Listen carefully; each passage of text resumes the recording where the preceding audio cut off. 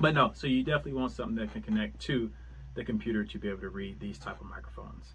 Uh, after that, what I would probably recommend next is getting a good pair of headphones.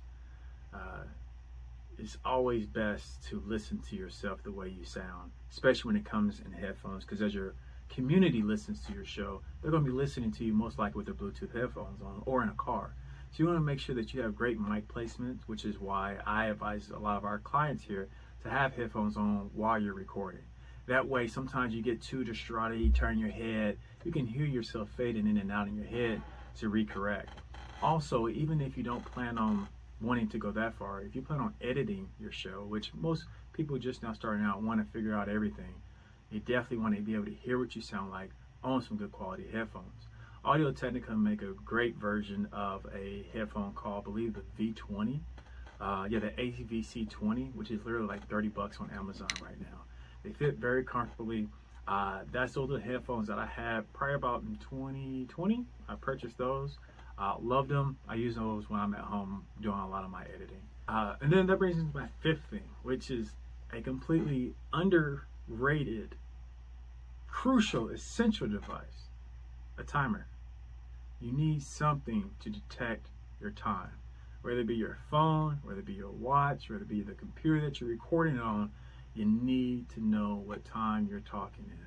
Because the last thing you want to do is get up caught up in a crazy conversation you thought was great lasts for two whole hours and now you have to a either spend extra money to have someone else edit all this two hours down or you have to sit there and realize you did a lot of rambling to re-edit this two hours down. Or if you had a plan on doing a 15 minute solo show and you're not watching the time and you think you did good and you look up you only did seven minutes of it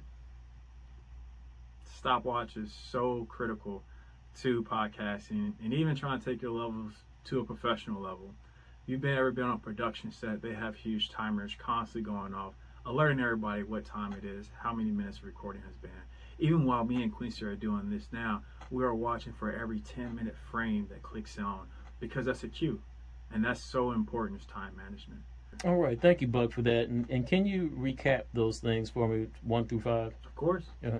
First thing you need is something to record on, whether it be your phone, computer, laptop, or even a Zoom little personal recorder, a mini recorder, a handheld recorder. There we go. Second, you need some type of microphone. If you're using your phone or one of those Zoom audios, most of them come with microphones. If not, you need to look at getting a microphone, which is still under a hundred bucks. You can get a really good USB microphone for under a hundred dollars. Uh, next is you need, if you don't plan on recording from your phone, you need a desktop or a laptop. You need a microphone that's going to be able to communicate with that. That's where our audio interface, or if you have a microphone that has a USB port, there you go.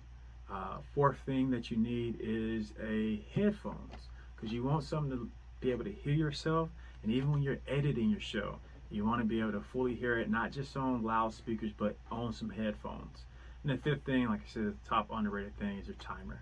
You want to be able to gauge how long you're talking for, where's your cues at, especially if you're having guests as your uh, or interviews or guest people. You want to be respectful of their time as well. So you don't want to tell them that you're going to have an hour long interview and you're looking up it's two hours now. Whether they say they're cool with it or not, you just want to always respect people's time. So those are my five recaps. Sounds good. Now, tell me a, about a few other things. Um, one, starting with lighting. You, we talked about that uh, prior to recording, uh, and I know lighting. You think of it just in terms of video recording and not necessarily podcasting.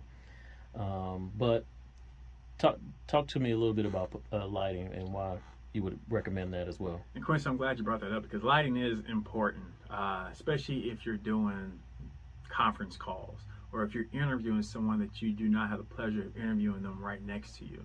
And with it being still we're in 2021, uh, you know, COVID and different the world pandemic is still uh, an issue. You have some people that just do not feel comfortable, or that might not even be the same state that you're in. You still want to have a good conversation with them. If all the lights are off and you're sitting there on the screen looking at someone who is uh, you're supposed to try to have a professional conversation with, it's it's going to feel awkward. I mean, you always want to make your guests feel comfortable uh, and special. That's what I call special guests. Good lighting, a nice even ring light that you can buy at Walmart will be decent enough beyond just you just having a weird light sitting above you, sitting in the kitchen. Uh, take that time out to make that investment. have a light shining nice directly, lighting up your whole profile face, uh, just to be able to give that great presentation to the person that you're talking to. They're taking out their time of day to be able to join you on your show. You should at least have the common courtesy to be able to make sure they're not seeing a grim reaper looking face, but they see your beautiful face while you're talking to them, which also brings me to the cameras as well. Now, you do not need to expend a lot of money on cameras when it comes to podcasting at all. That's not, don't think that's what we're trying to say here. But you want to have a decent camera, whether it be your phone selfie camera if you're doing a Zoom conf- conference call, or if you have a laptop camera, or if you want to buy a Logitech camera that's under $100, you can get them for like $69, I believe. Uh, you can mount those perfectly on top of your computer. It's going to give you a nice, clean look, and with that lighting behind it, you're going to look like a professional. All right, thank you for that. And so, uh, a few more things, uh, and these were things again that we had discussions about. Uh, again, particularly with podcasting, your sound quality is important. Um, the microphone is a, a big a reason why um, the sound uh, will again essentially uh, create create the best quality of sound with the best quality of microphone. But you also talked about uh, actually soundproofing the room. Can you go into that as well? Of course. So whenever you're going to start to talk, you start hearing. If you're walking to a loud a gym by yourself and just start talking or dribbling the ball, you hear a loud echo going on. That's the worst thing you want to hear when it comes to podcasting. You don't want to listen to a show that sounds like he's or her outside just screaming. You hear nothing but echoing. The best way to fix that is with you know sound deadening. You can see the ones that I got behind me. Uh, these are custom made, but you can even just buy them uh, in a panel like egg crate shells, different colors uh, to customize your theme that you have going for yourself. But if you're on a budget, and let's say you don't have the money to drop in those, you can even just use quilts. Quilts do a great job of killing that sound wave that's coming out of your voice and hitting the wall and bouncing back. And the issue why that can be even a bigger issue dealing with microphones because that same sound wave can come crashing back into your mic where it can sound really bad. And as a podcaster or a content creator, you want to make sure you're giving your community the top, best quality that you can possibly do it. Now, I have another room inside the studio right across the hallway where if I were going there and have the same conversation and face, I believe, the east wall, you'd be able to hear a lot of my reverb back. That's what's called the echo. It's called reverbing. You'd be able to hear a lot of that back.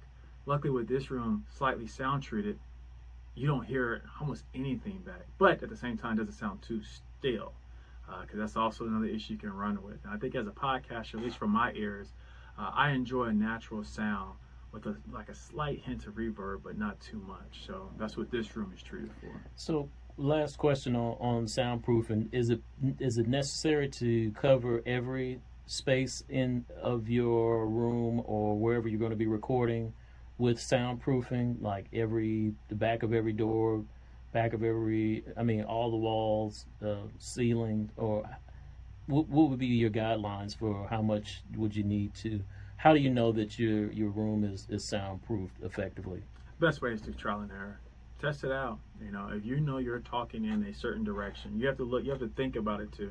If if a sound wave, if I'm if I throw in a picture of sound wave is coming out of your mouth and hitting the wall right behind, so my sound wave is technically hitting the camera and I'm going to the wall behind it, then it's going to bounce back towards me. You know, my sound wave is traveling through the camera, hitting partial of the camera, bouncing off that wall, and even coming back towards me and even slightly, if I'm talking loud enough, bouncing off this wall and coming back into my microphone. Uh, so you want to just test it out. Uh, I know if you're recording in a closet, which is a great spot to start at because it's kind of enclosed already, the walls are enclosed as well. You know, you can easily test those walls. You know, throw a blanket in front of you, throw two blankets on the side of you. If you're able to record in a bigger room, test it out.